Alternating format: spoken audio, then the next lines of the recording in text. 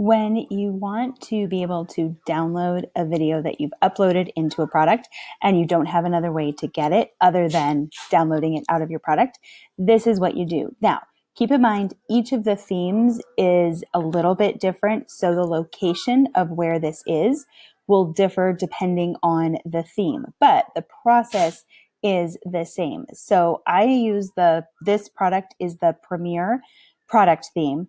And in the right hand corner, and this will be on some of the themes. Other themes have everything in the left sidebar. But if you have something in the upper right hand sidebar, click on post and then post will change the left hand sidebar. When you're in the left hand sidebar, if you click on post body, and let me just move myself out of the way for just a second. There we go. Then down here in the blocks area, all you want to do is click add content and you'll see video download. So add the video download, we'll click save.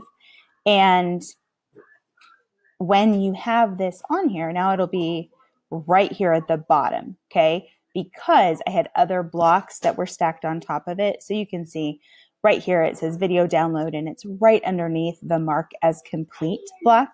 So this is now I can go in and download those videos. So if you hold down the command key on a Mac and then click preview, it will open up a new window. So you won't lose this working page. And then you can click on the preview, go to whatever lesson you need to be on to download your video. Scroll down here, it'll say download video. So you click that. It will download it to your computer as an MP4. You can save it to your desktop.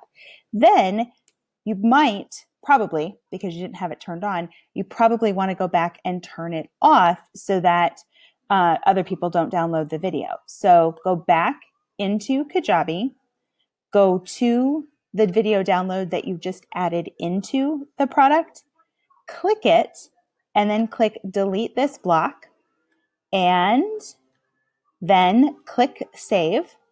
And when you do that, the download will no longer show up. So you can double check that by clicking on the tab that you did the preview in, click refresh so that it reads from the new save, and then you'll see it's no longer available as a download. So I am glad to answer any questions, but it should be pretty straightforward.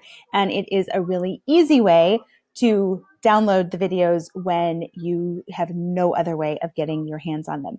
Have fun. And again, let me know if you have any questions. Bye bye.